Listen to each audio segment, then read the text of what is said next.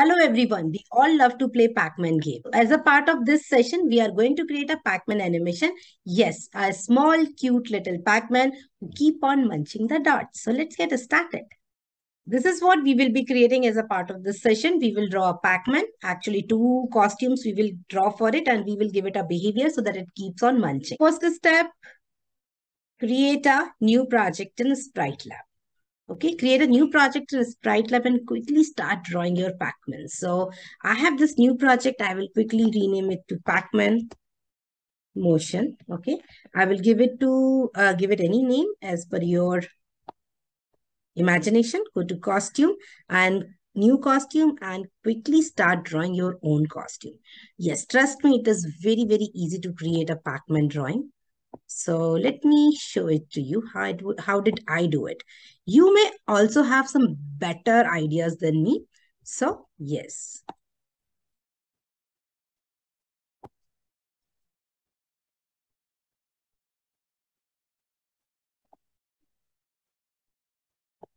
Okay, this is the center and this is the center and taking the center, I will draw the mouth.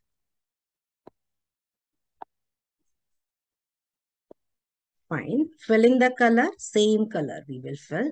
I will now at this moment make a copy of it. I will crop it and make a copy of it. Okay, so we have two Pac-Mans.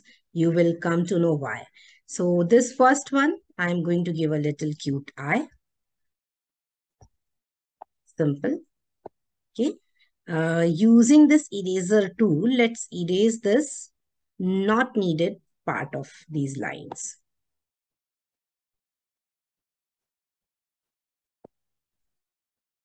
This one again give uh, an eye to it. And here I will fill this part also. Okay, sorry, I will need to fill it with yellow color. So I will first pick yellow color and fill it. So we have two animations, one animation with open mouth and another animation with closed mouth. So let's go to code and start putting this sprite. Make a new sprite which is sprite? Yes, of course, this Pac-Man is sprite. Uh, yes, 200, 200 is okay. You can also give it, uh, uh, you can also resize it if needed. So maybe you can resize it a little bit. Yes, I am actually making it big so that the motion and other things are clear enough. What next? We need to give it a behavior. How we will change the, how we will change its uh, costume to the closed one and how we make sure that keep on actually munching and munching always. So if we want something to be continuously happening in a sprite lab, what do we do? We use behavior. So we will go to behavior and we will create a new behavior. I will give it a name, maybe Pac-Man munching, a munching Pac-Man.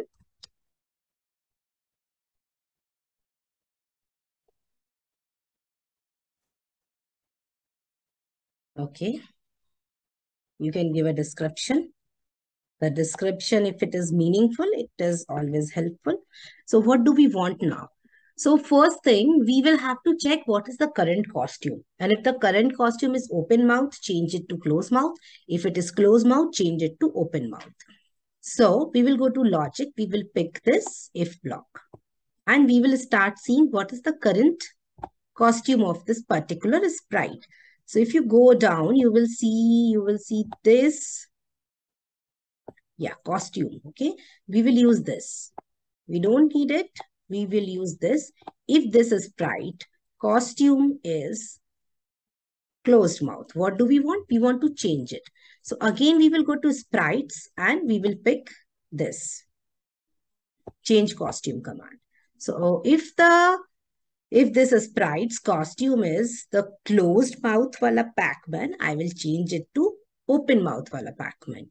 Else if, yes, here we will use else if because, you know, if the costume is closed mouth, it will always be closed mouth. Otherwise, it will be open mouth. So here we will check if it is open mouth. We will change the costume to, we will change this costume to closed mouth. Okay, but do you think only this much is going to work? Let me close it give it this behavior, give my Pacman this behavior and see what is happening. Behavior, uh, munching Pacman. Okay, reset and run see it is working but it is working very very fast so actually what is happening with every frame its costume is changing. We do not want the costume to change with every frame. Maybe after four five frames or maybe 10 frames my costume should change. So what we will do we will again added this behavior and we will see the number of frames that has been completed. So for this we will again take go to logic and use this if block okay? And we will check what is the current number of frames. So go to word and use this command. Time in seconds. Okay? So instead of seconds we will use frames. If time in frames is equals to uh, to begin with i will put it for five. What does it mean? It means you know after five frames. After five frames. So we want to do it, do this only after five frames. Okay. So let me close it, run it and see what is happening. So do you see after five frames, uh, the Pacman mouth is shut, but it is not opening again. So what do we do? What do we do? What because this is happening because you know um, this is five seconds and then after uh, five frames and onwards it is six, seven, eight, nine, and ten frames. So you know this condition is basically becomes false. So what we will do? I have a trick for this. So after five seconds, we will again reset the timer. What does this resetting the timer do? Resetting the timer will basically again reset the timer to zero frames. 0 and then again it will start 1, 2, 3, 4, 5. Again it will reset in 1, 2, 3, 4, 5. So my time in frames is never going to go beyond 5 and it will keep on ranging between 0 to 5. And as soon as it becomes 5, it will change the costume. So let's reset and run it and show it to you.